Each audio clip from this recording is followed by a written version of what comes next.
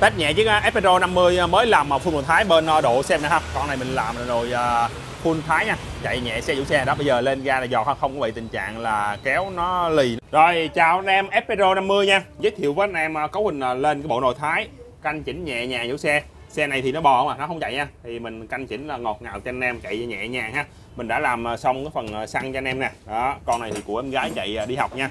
Ở chê xe nó yếu yếu quá. Rồi thì à, có mình cái nồi mình sẽ đi lại cho anh em là nồi à, full có thấy nha đó mình thay vũ xe là full là bốn con thấy nè một hai ba full thấy nha không đi bố giá nữa. Tại cái nồi cũ nó bị tình trạng là sọc hết chuông với lại hư bố rồi. Đó chuông mà nằm chiếc xe này không bị sọc hết nha. Bao đẹp cho anh em ha full mới nha. Đó rồi. Phần cái uh, dàn dây thì mình sẽ lại sẽ lại dây ban đô nhật nha. Đó ban đô chủ xe nhật nhật chủ xe.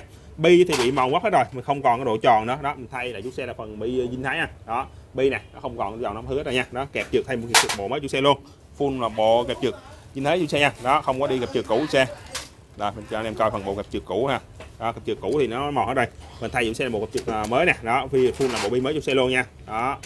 Anh em mà muốn à, lên có mình cái uh, bộ nồi cho chiếc uh, 50 thì ghé bên độ xe năm bởi mình là chuyên làm nồi nâng cấp máy cho anh em ha. Có dần lên 70 100 110 cho anh em ha. Rồi mình chào anh em F 50 nha.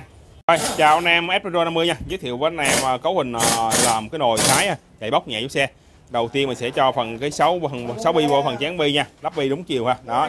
Cho dây dây bên đôi nhật? Vô. Tới phần bộ nồi sau ha. Đó. Nồi sau thì mình đi có hình là nồi uh, bố thái nha. Vậy em bền nhẹ nhàng cho anh em luôn.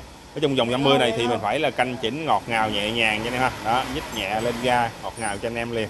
Không có sợ bị tình trạng là chạy lì nha. Đó mình canh chỉnh là khi nào anh em ưng ý thì mình mới giao xe nha. Đó canh chỉnh khi nào mà chạy vừa ý cho anh em thì mình giao xe. Đó nhích nhẹ lên cho anh em ha. Full combo có bình à, bộ nồi à, cho chiếc à, Espresso 50 đó. Mình làm xong lóc mình gắn xong cái phần nồi trước nồi sau ha. Đó, mình sẽ bóc nồi và mình sẽ test cho anh em nha. Đó, dạo cho anh em vài vòng để cho anh em có nhận. Anh em học sinh mà chạy xe bị ghi gần ly á, bò không thì qua bên độ xương nam. Mình sẽ cho chiếc xe nó bay nhảy lên hoàng ha. Test nhẹ chiếc Espero 50 mới làm mà phun một thái bên độ xem nữa ha. Con này mình làm rồi full thái nha. Chạy nhẹ xe chủ xe đó. Bây giờ lên ga là giò không có bị tình trạng là kéo nó lì, nó bò nha. Đó Espero 50 nha anh em. Anh em Espero 50 mà bị tình trạng là lì nồi máy bò thì ghé bên độ sừng năm mình ờ, bao làm cho anh ha đó, chạy là bao nhẹ nhàng đâu nhích ga riu riu là chạy thôi nha. Không có sợ bị tình trạng là lên ga nó gào rống nữa, không đi ha. Đó dòng này mình có nhận nó cấp máy ờ, lên là 70 nè 100 110 125 125 cho anh em nha. Đó kéo nhẹ ga là giọt thôi. Full có bình uh, nồi ờ, uh, Espero nha.